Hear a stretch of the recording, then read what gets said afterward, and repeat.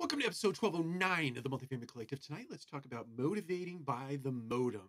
so recently I read a, a an article or a blog post where Sam Zell was being interviewed uh, at a conference. And one of the things that he talked about was returning to the office. So that's uh, a hot topic, obviously, in our industry and industries across the country. And Sam's take is that it's very hard to motivate by modem. That is to say, by Zoom or by Teams meeting or by Google Hangouts or whatever video mechanism you use uh, to have meetings with your teams.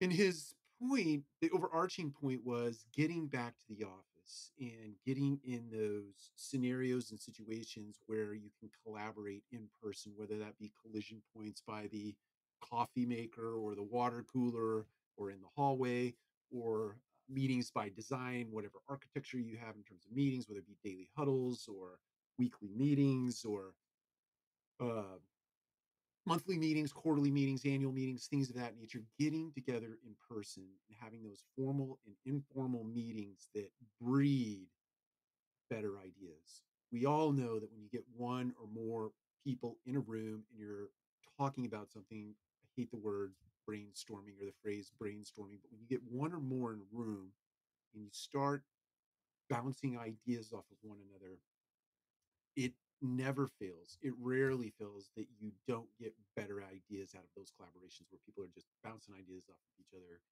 with no real aim in mind aside from trying to solve a problem. You get the you get a, a problem in a room, you get a bunch of smart people in a room, and you start debating the finer points from various perspectives in the organization. And more times than not, you yield good ideas that you can put into action to, to solve problems very quickly. So Sam's point of not being able to manage by modem or lead by modem is a germane point as it relates to uh, getting back to per, getting back to work in person.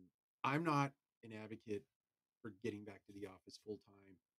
Uh, I don't think that I ever will be. I think that I was uh, running under the the premise of hoteling dropping into the office and using boardrooms and conference rooms in lieu of an office like almost 10 years ago now. So I've been an advocate for remote work for a very long bit of time. So the idea of going back to the office full time is not something that I'm an advocate for, but I am an advocate for meeting in person because of the synergies and the energy that you get from each other in terms of solving problems, big, hairy, audacious problems. You need people in person Take care. We'll talk to you again soon.